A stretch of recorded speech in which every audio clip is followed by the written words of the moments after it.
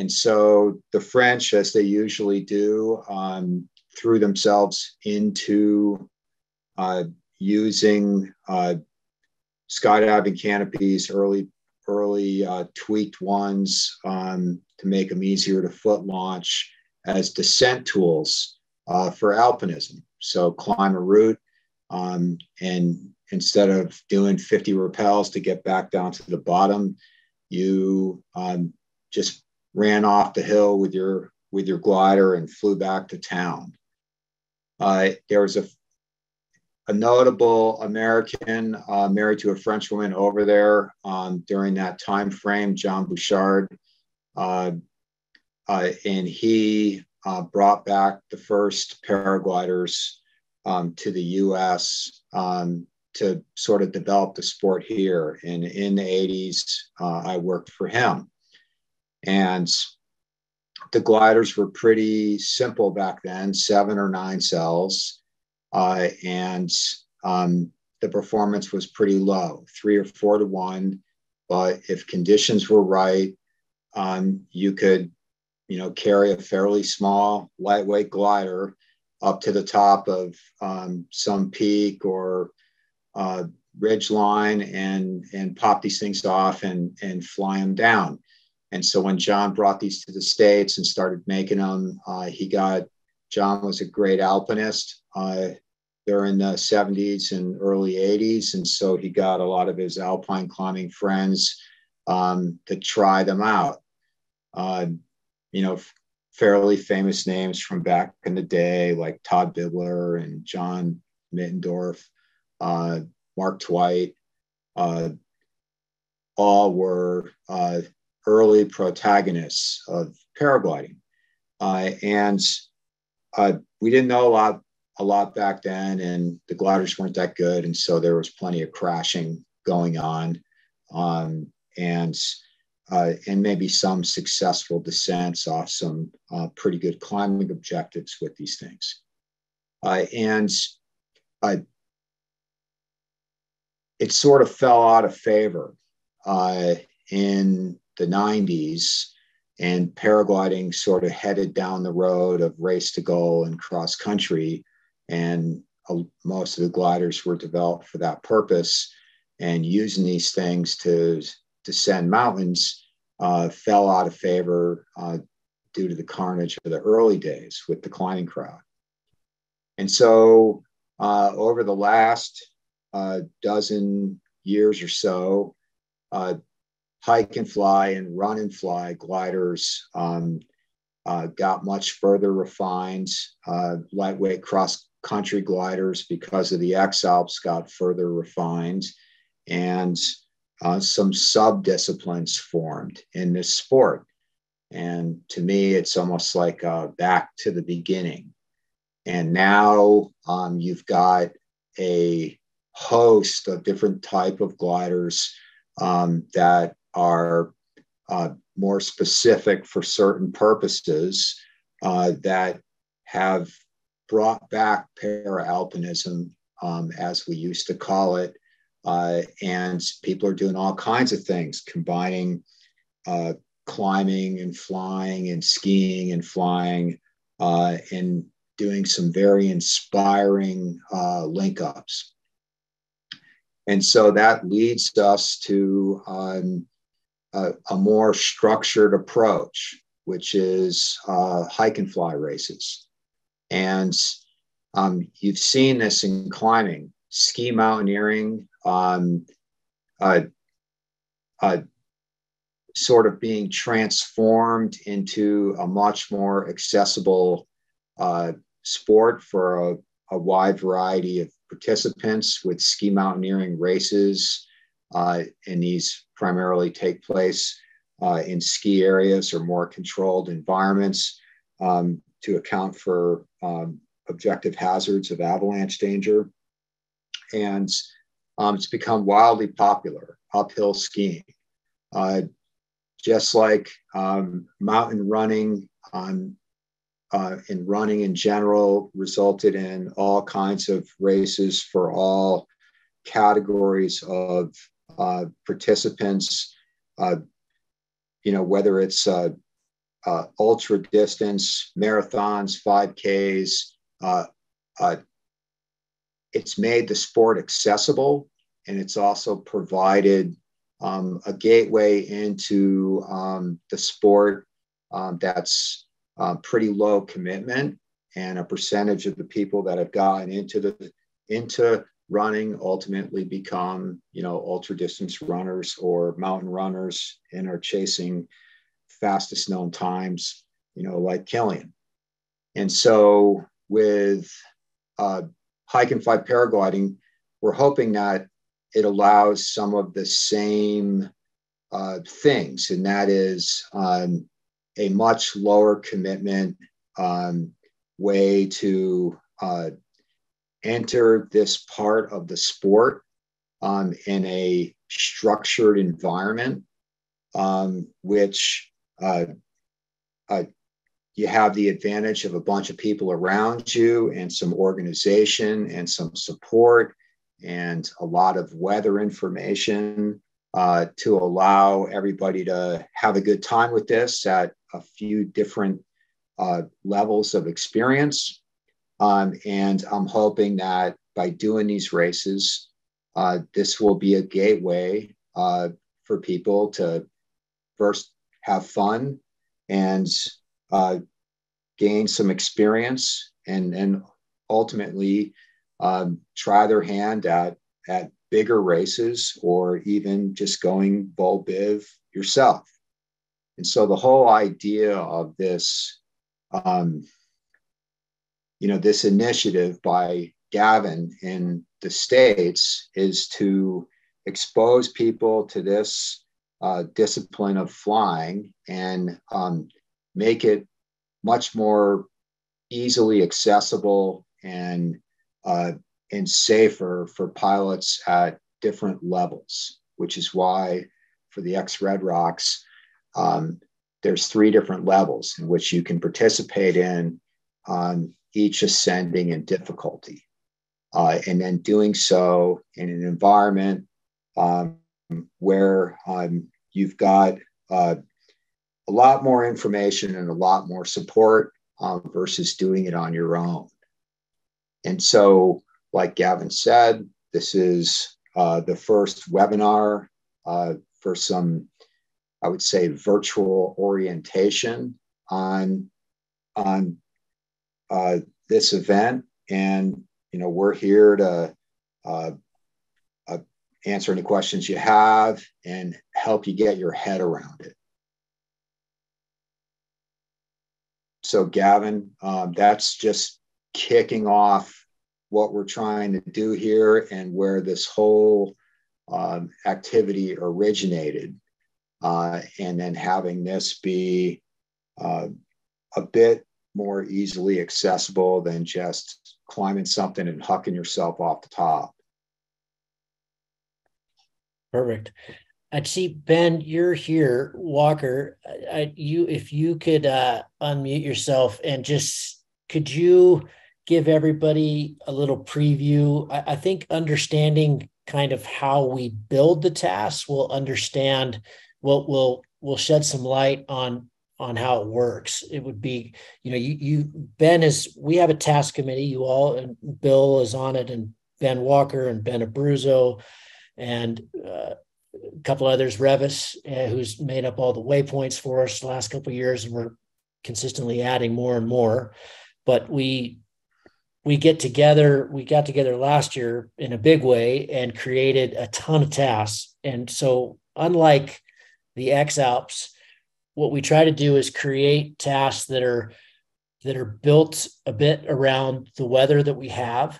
And we try to make them fun and hard and uh, but kind of maximize the day. And ben has been really integral in and spending a lot of time on on google earth and just identifying where the possible places we could go. So ben so just talk before, talk about that. Okay, sorry, go ahead.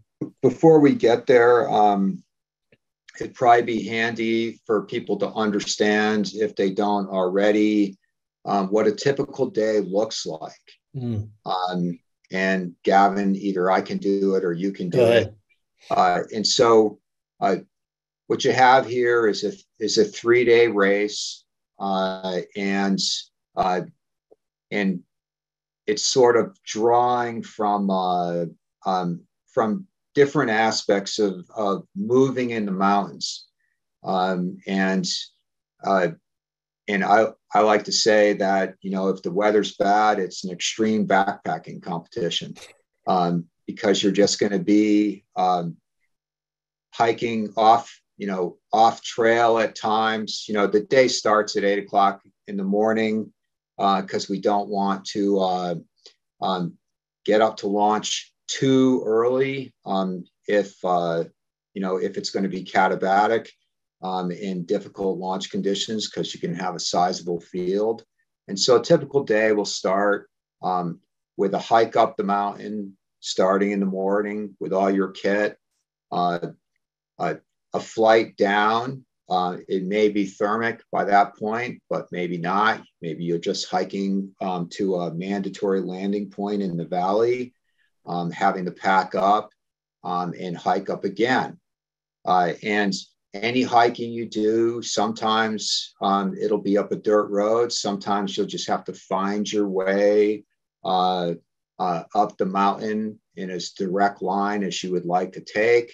Um, and you're not uh, obligated to take any uh, established route, but there's probably going to be a turn point uh, right around launch that you'll have to be at um, in order to complete the task.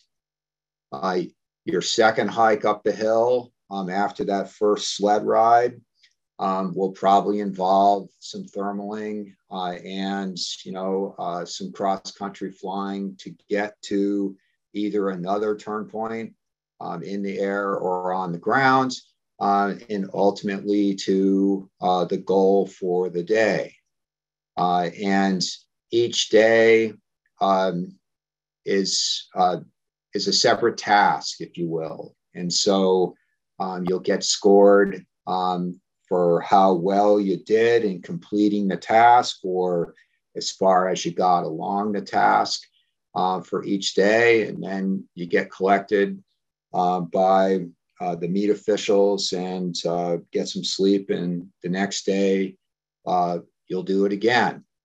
And um, you'll the task committee will try to set some interesting um, tasks to complete uh, based on conditions and and whatever other factors are at play, strength of the field, um, safety, stuff like that. But uh, there's an effort to make the tasks interesting, challenging, and achievable. And so, uh, so, and with the goal of, of having everybody exhausted and having a good time, um, but not uh, so extreme uh, that um, you know you're you're putting the field at risk. And with the three levels that we have in this competition, um, each level will have a task that is similar um, but harder um, as you get to the higher levels. And so obviously the um, the pro field will be the hardest and the longest task, um, uh, but we will try um, to have everybody together at the start, um, and you know each group will just do something longer or shorter um, uh, depending on the level. And so with if that is relatively uh, understandable, um, we can kick it over to Ben to sort of describe his process of um, of creating these uh, tasks for the day, of which we've um, created many options um, to choose from based on conditions. So, Ben, over to you. Already said it all, Bill. Uh, I think the main things to point out when we're designing the tasks are the goals. And we want to make sure we're doing a separate task each day, as Bill pointed out, but we want to make sure that the tasks don't feel the same each day, that we have good variety. So that's one of the goals. Another goal is to make sure that we get a good amount of hiking and that the hiking um, is, of course, intermixed with flying, and that that flying is interesting, challenging, fun.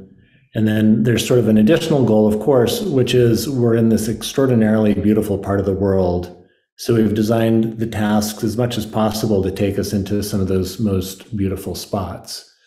And it's unique because we have a lot of mountains and mountain ranges that we can fly down or fly across.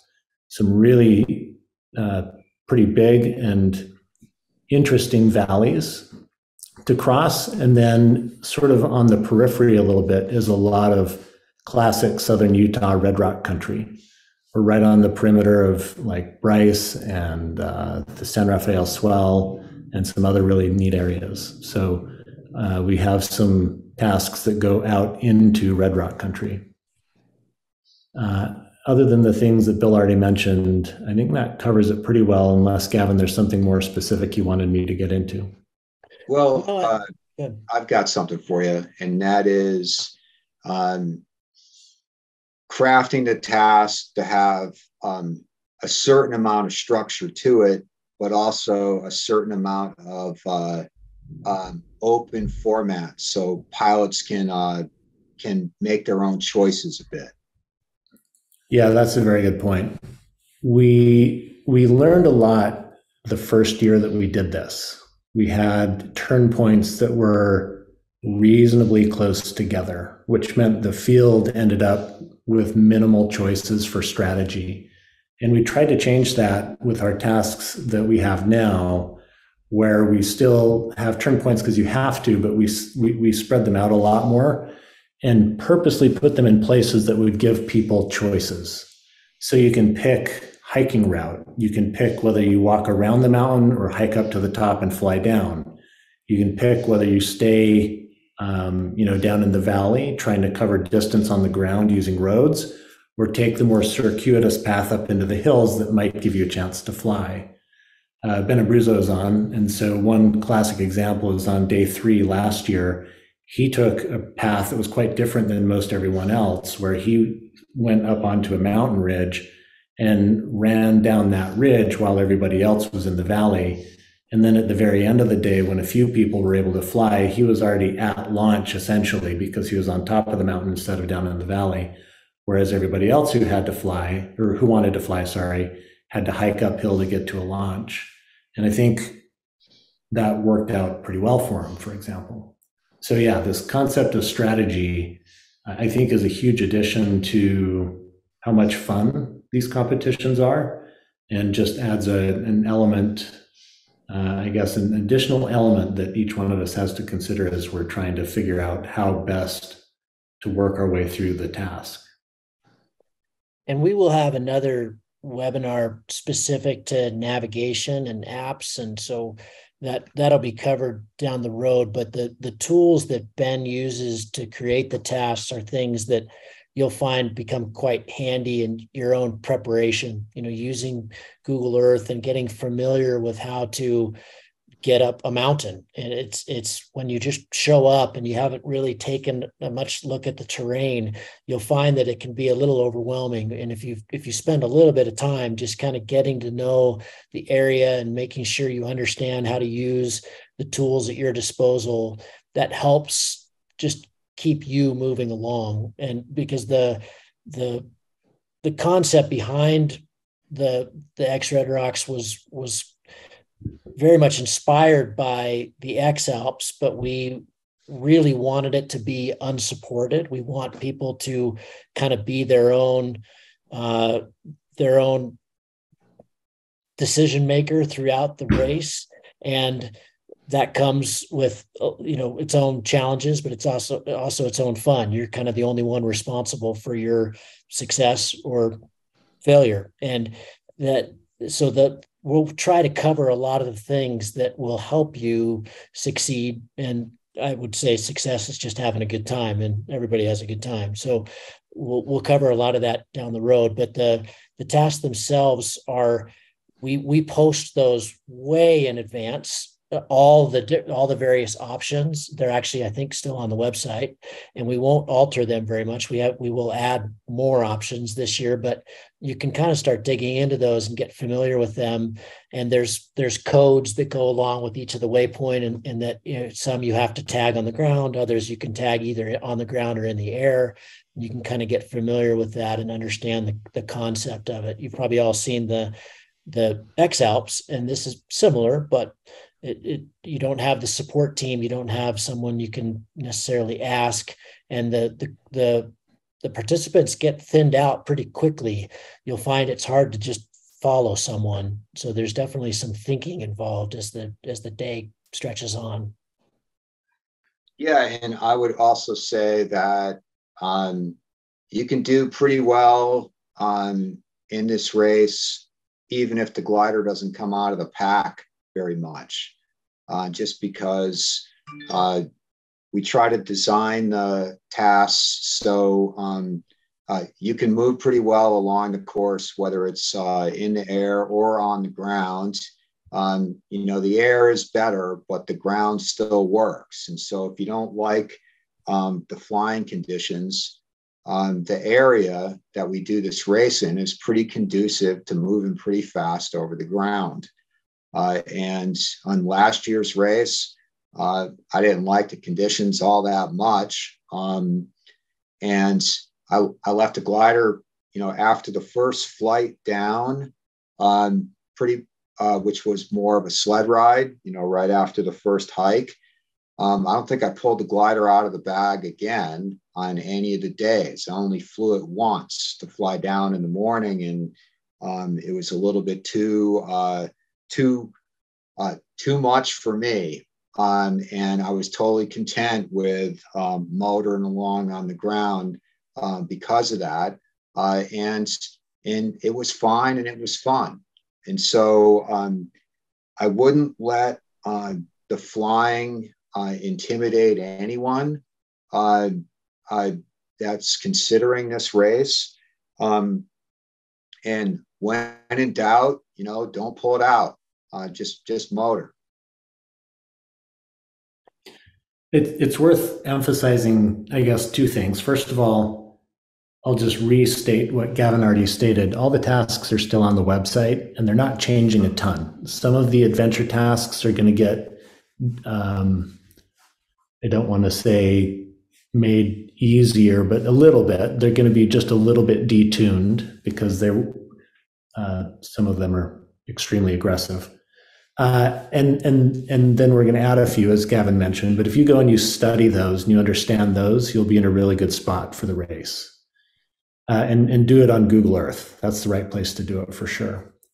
The second is get really familiar with navigating on the ground through trails and areas where there are not trails using your phone. And if some some people already do that all the time when they're hiking or cruising in the mountains, some people are less familiar with it. If you're not familiar with it and you don't have a mapping service that you really, really like, uh, spending time this summer to get accustomed to that will pay off in a big way once the race comes around. Personally, I use Gaia. Fat Maps is the other one that people really like. And we'll be part of the academy division is we'll be mentoring you all during the race. So each, well, not as the race is happening. But each evening, uh, when the task the task committee will meet, we'll put together the task, and then we'll get a little smaller group together and and talk about the next day and kind of how we see it and that might ne- not necessarily be correct but it'll we'll, we'll tell you what we think and and kind of some strategies and that kind of thing so we'll we'll kind of hold your hand through it and and that will hopefully help you kind of visualize. But like ben said getting familiar with the terrain and kind of visualizing how you might move through it uh, can be really handy. And we part of the video from last year did a really good job of that. It showed the task and it showed how people did it but we've got all those track logs so we could put together we, we could put together some of those as kind of a specific this is how it was done in a future future webinar should we go to Q and A, Bill, or do you have yeah. anything more to say? Oh, I, one more thing is we also do supply we because it's unsupported. We have resupply stations, and so there will be at least two, and it depends on the length of the task and how we kind of see the day going down. But you will know where the resupply stations are, and then you can also elect to you know, hey, I need some help. I need some stuff, and we can't promise that we can get stuff to you, but we can. We will try as the the organization, and that's me and, and my staff, and we'll, you know, we'll try to get to you. But the there will be official resupply stations where we have a lot of stuff, you know, good food and good energy stuff, and lots of water and electrolytes and that kind of thing. So we try to make that doesn't mean you can go out into the desert with one liter of water and no food that's not going to work. But you you need to be thinking about how you're going to fuel yourself through the day totally independently of us. But we do have resupply stations that uh, we have found are pretty important because you are in the desert it is really high the days are long. So questions Real yeah, quick, I noticed on the site first. that when clicking on some of the tasks from 2022 to look at, everything says not found. Mm, I was afraid of that.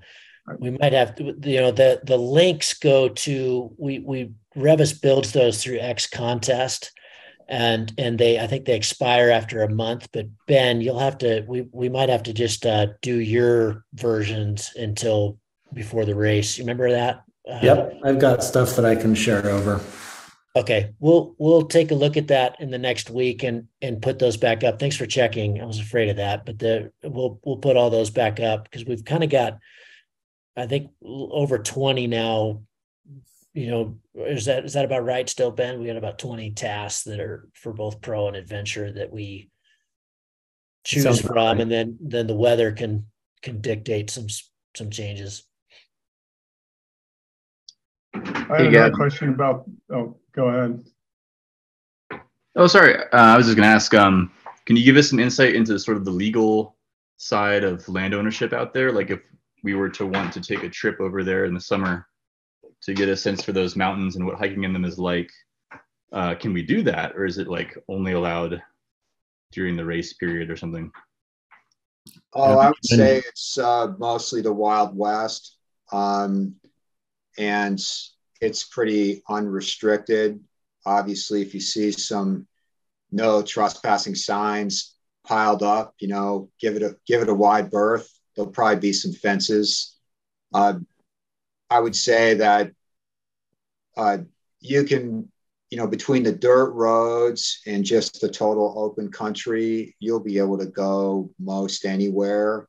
Um, but it's it's common sense, you know kind of know what places to avoid compounds with fences around them and a bunch of no trespassing signs. You just go around those.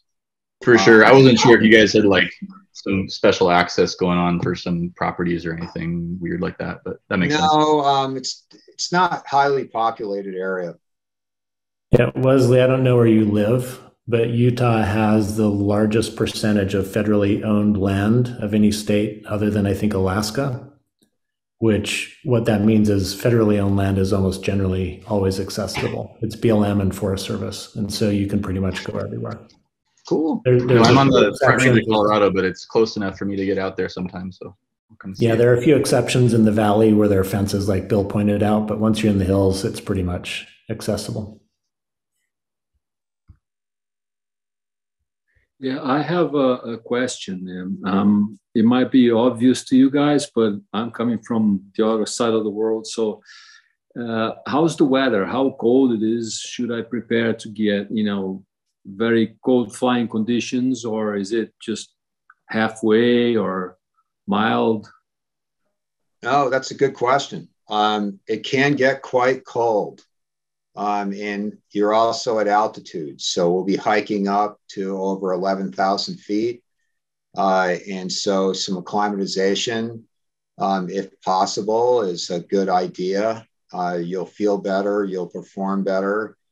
And uh, uh if it's post frontal, it'll be in September. So late in September, the nights get cold.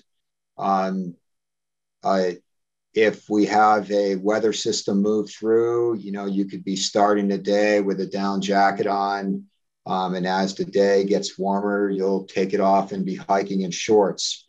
Um, flying wise, we could be reaching uh, 15, 16,000 feet.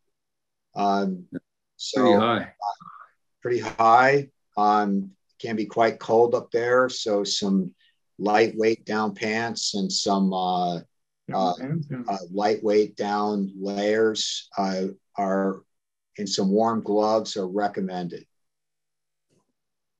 Thank you.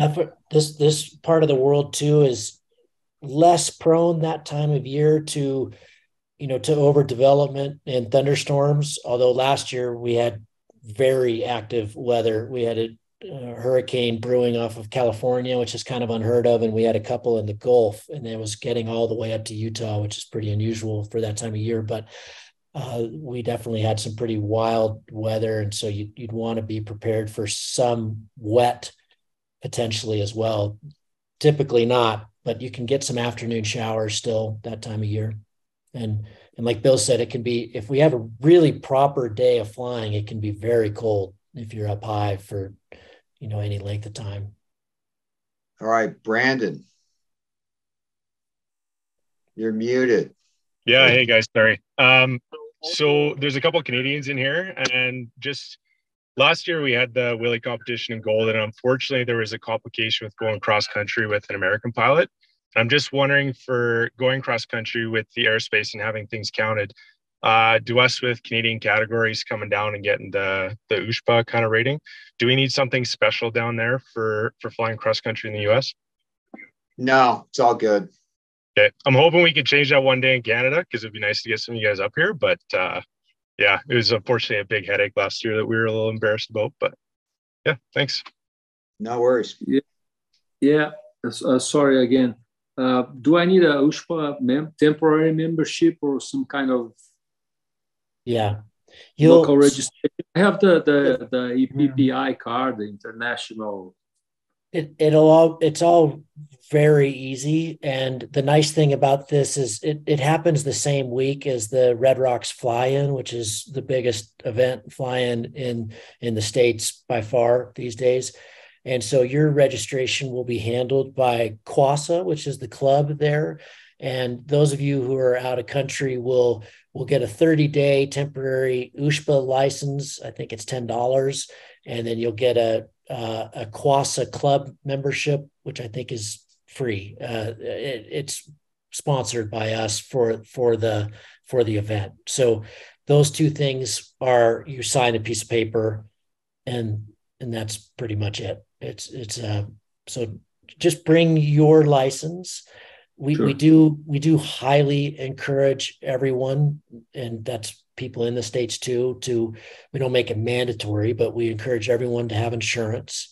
And, and there will be information that'll come out regularly between now and the race on on what we recommend. And you know global rescue is our is our sponsor. They're terrific but uh and highly recommended. But they're we just because this is a remote place and you know accidents can involve uh, pretty pretty exciting getting people out. And but the nice thing is, is we have uh, connections through the community up in Salt Lake. Bill Beninati and uh, Justin Grisham will be will be running our safety. And you know, Bill runs all the helicopters in Utah. he runs that whole crew. So uh, you know, we we will have excellent access to uh, emergency services, which is terrific. Yeah, and just just like in Canada, there's large areas with no cell coverage. Uh, and so the uh, satellite trackers with texting capability are the means of communication uh, out here in the deep. Uh, and with that, um, Dave Preston has a question. Yeah, I I think it was Ben mentioned earlier. There's a couple uh, apps that he uses to navigate with on his phone. Uh, could he say those again? And then to your point, if there's not cell coverage, do they work offline? Like, do you download local? Download the maps. Yeah, so Gaia uh, and FatMap, I think, were the two. Is that G A I A? I think it is, and I'll, I'll I'll I'll type them into the chat.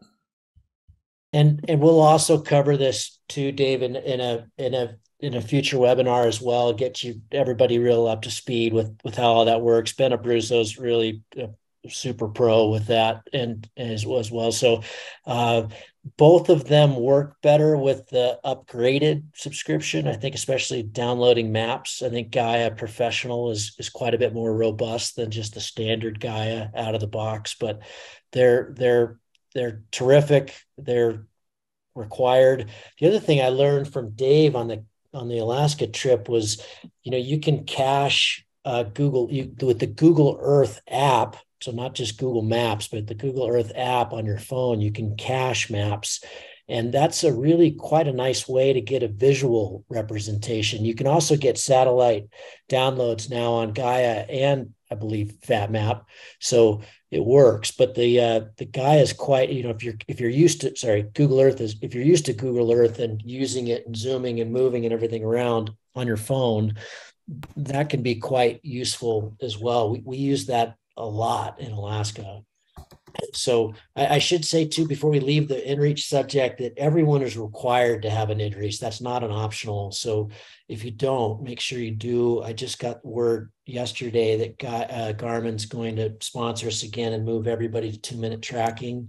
So, which is terrific. So we'll use the kind of the same live tracking that we had last time, which worked brilliantly. It was fantastic. So but we'll we'll cover the apps in more way more detail in a future webinar because they're that's that's a whole behemoth. That's a big one. Would, and one last question. work? Sorry, sorry would spot? Sorry, sorry. Okay. Yeah, yeah, spot will work, um, but I don't think you have the text. I guess it depends on the spot plan and the spot you have if you have texting abilities. Yeah. Joao, if you if you can go to InReach, we, we have they're just far far superior. You'll you'll you'll really like it. Um, Spot does work. I think with Spot Connect, you can do the the texting, but we have not had much luck with that. It just gets really tough, especially in a situation where we need information from you and vice versa. You know, they're fine for tracking, uh, which is typically all we need. So uh, yes, it, they do work, but inReaches are quite a bit more robust. I'll get an inReach. On the so one more question about the actual task. It sounds like you could be running a lot and there's a resupply zone.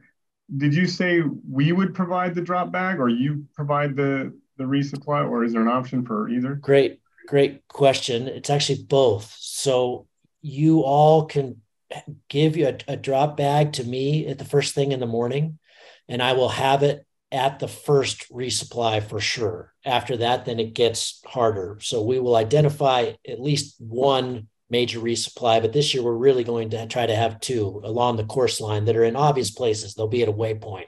They won't just be a random spot.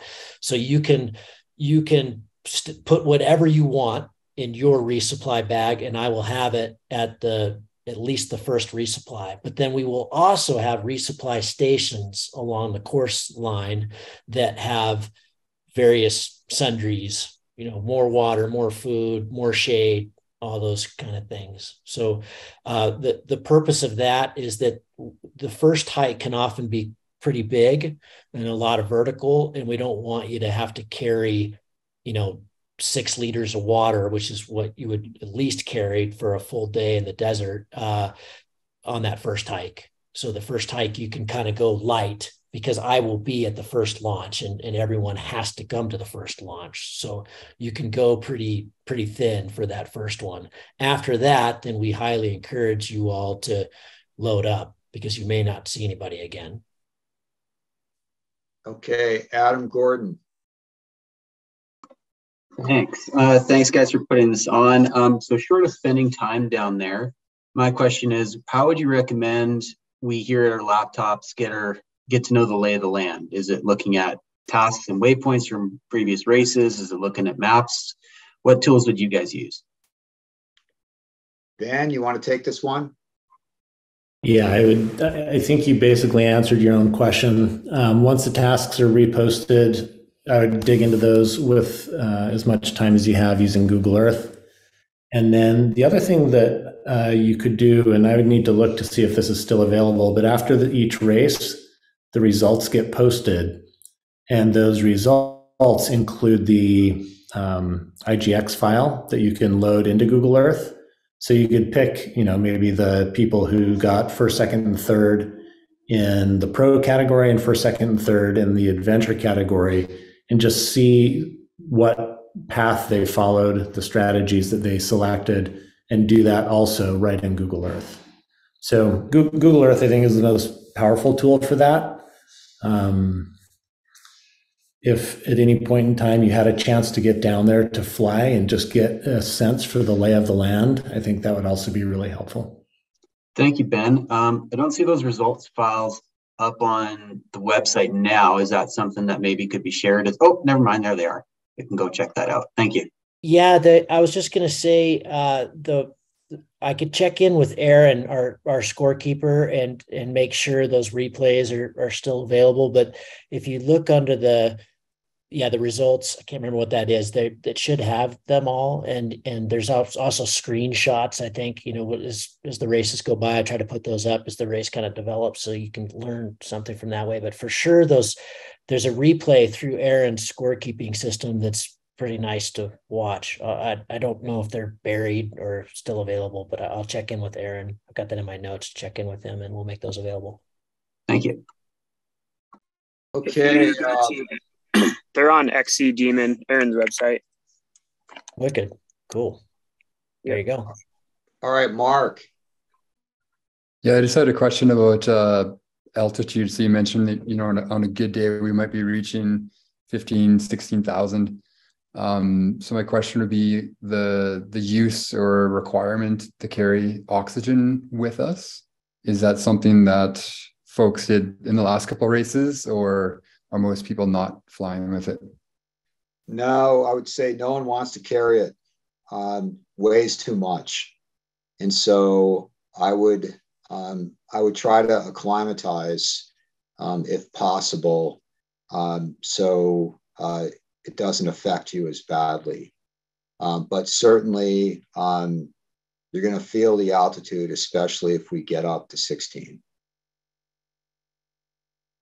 There, there is Mark. There is no requirement for sure. I mean, you you could certainly you could certainly bring it and use it. I mean, oxygen helps a lot for warmth and all kinds of things, but most people just don't want to carry it. No, fair enough. That was that's the answer I expected. Awesome. Senna. Uh, hi. I'm curious. Um, is there a requirement to carry our like flying gear every day, all day with us if it's a completely unflyable day? And like, could I just go out with a running vest, or is it something that we require to have with us at all times? I would love it if that was true. Great. yeah the this is covered too. The the rules are actually they're on the website and they're good to just have a go through because uh, it, it talks about a lot of that. Most of it we stole directly from the x alps and the eiger and a couple of other races so they're they're pretty similar. Uh, you do have to you do have to keep your basically your minimum kit helmet instruments inReach harness wing uh, with you all the time so that's that's part of the requirement. What's you can also end whenever you want. We don't care. Uh, you know you don't have to go until the last part of the day. Uh, that's completely up to you but you do have to carry your stuff. We are going to add some ultra running and other components to this race we hope in the future. Not this year but down the line you know mountain biking and ultra running and that kind of thing. We we this is an amazing place. We'd love to add some of those components but for now, it's just hike and fly.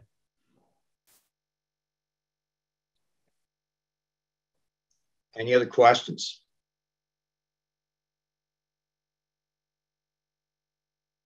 For anybody who's interested, I dropped the link for where you can get the results from previous races into the chat.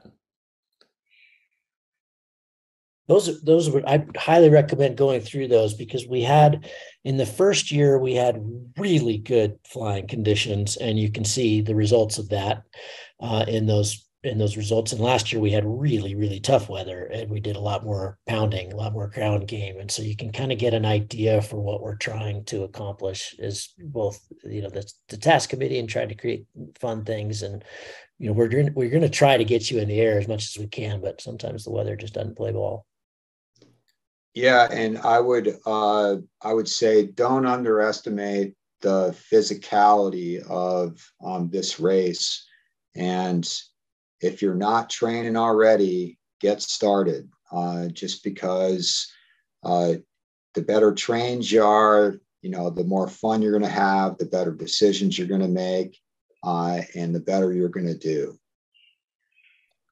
If you all do Ben's Ben's program, I guarantee you're going to have a lot more fun. He will he will prepare you really nicely for uh, you know the the generic one he's putting out is great and if you want to really really go for it just have him do personal training for you but he trained me for all my XAlps campaigns and it just it's boy it's worth worth doing because it just makes it fun and not painful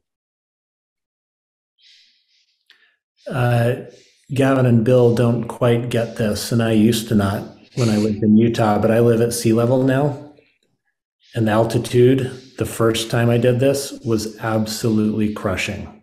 There's there are mountains that you hike to that are 13,000 feet above sea level that you hike to the top of. And some of our tasks have like ridge runs along some of those, uh, you know, 13,000 ish foot ridges and peaks. Um, so, what I did last year is more cardiovascular training. And then I went and, and basically lived in Utah for about a week and a half before the race, and it helped a lot. For sure. You could, you know, Aaron Durogati won last year, and what he did is he went to Pakistan for 40 days before this. So I would recommend going to Pakistan into the high Himalaya and then flying 300k triangles as much as you can, and you'll be you'll be set. You'll be fine. simple simple task yeah yeah no problem wesley you had a question there it's probably addressed in the material already but remind me what the accommodations are around there in terms of like car camping and car camping. Uh, yeah. yeah good question. There's there's quite a few hotels you know your your kind of standard hotels down in richfield which is about 10 minutes by car from monroe. Uh, monroe has a host of really nice airbnbs they can start to get booked pretty quick. So you, would want to you'd want to get on that if you want to do the Airbnb thing. And then there's uh, an RV park right next to our LZ that's great. And showers and it's gravel. There's not a lot of grass, but it's the host is terrific, and that's a good spot. And then we have a, a little campground that we use for the awards and that kind of thing just up from the main lz called pete's place but i can't promise that's going to be available for camping right now there's we're we're still working on that. But uh, there's also Mystic Hot Springs. There's several other campgrounds too that are that are all very nearby. So you you've got whatever you need. We come back. We start and end every day in Monroe. So we may take everybody to a different zone for a, a, particular task. We did that last year, but you don't, you know, the closer you can be to Monroe, you're, you'll be all set. You don't need a car.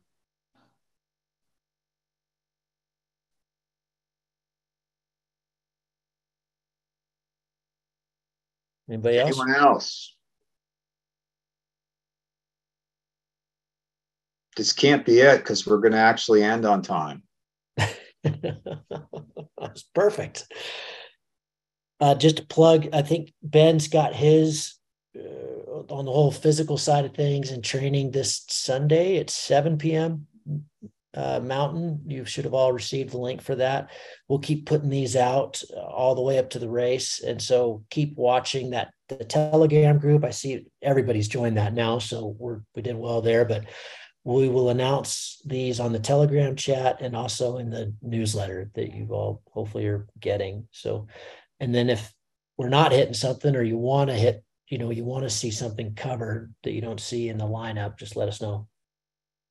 Yeah, Gavin, if you could send me that link to Ben, um, I don't think I got it.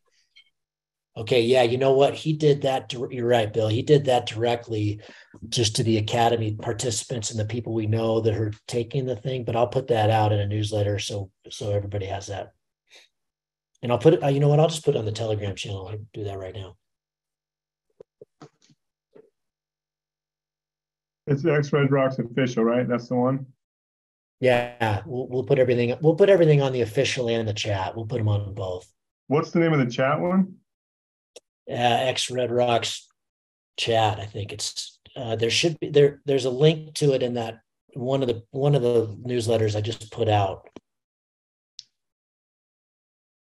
Okay, and there's another one called X or official Red Rocks Wide Open. No, that's that's the Nationals, which is two weeks before this one. So it's it should be X Red Rocks chat. Okay. Hold on. Yep and if if if you go back to not the most recent newsletter, but the one before that, it'll have it. You'll have the links for that in there. I should just grab it right now. Put it in the chat here.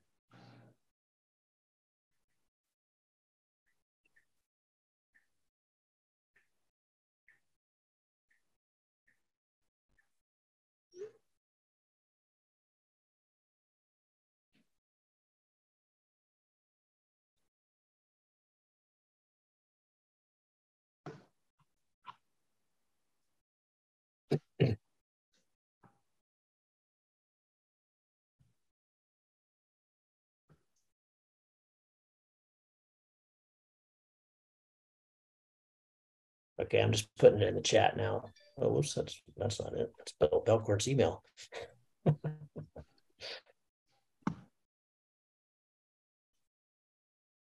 we go.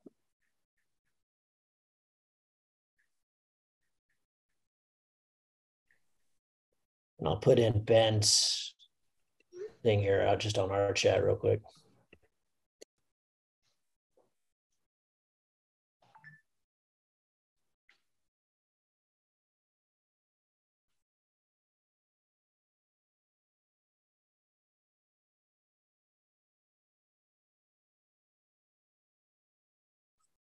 Bill, here you go. Here's the registration for Ben's deal. I just put it in the chat there.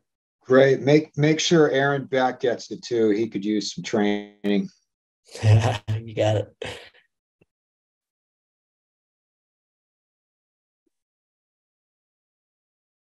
Ben, are, are you on here, Rizzo? Yeah. Yes. Do you, do you want me to put the link to that in the official in the chat, or are you trying to keep that more no, I want everyone to be on it. We want the academy guys to like make sure they're on it, but anyone who wants to come would be great. Okay.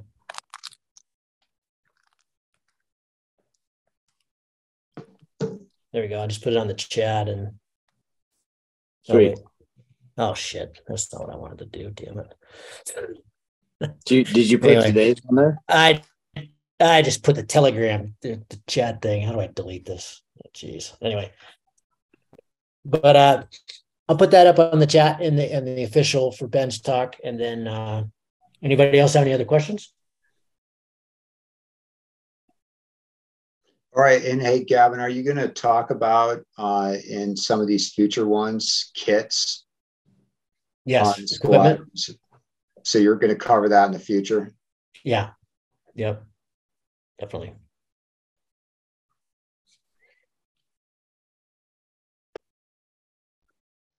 We miss anything? No, I think we got it. All right, everybody. Thanks a lot. I appreciate your time. Yeah, thanks Thank for you. coming. Thank you.